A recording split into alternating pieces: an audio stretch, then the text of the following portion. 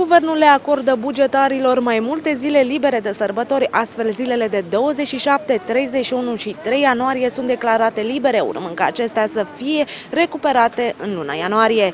Decizia premierului vine ca o recompensă a faptului că nu există fonduri pentru alocarea unor prime.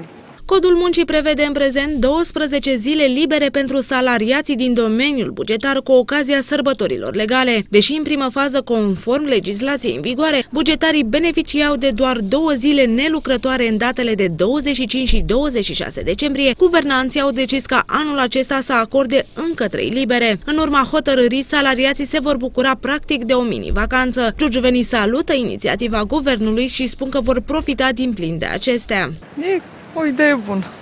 Mai luăm și noi libere că ne-am săturat de atâta muncă și stres și...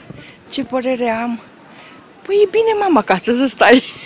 Cât mai multe zile libere, cu atât mai voioasă este lumea și bucuroasă de timpul care este acordat pentru sărbătorile astea de, de iarnă.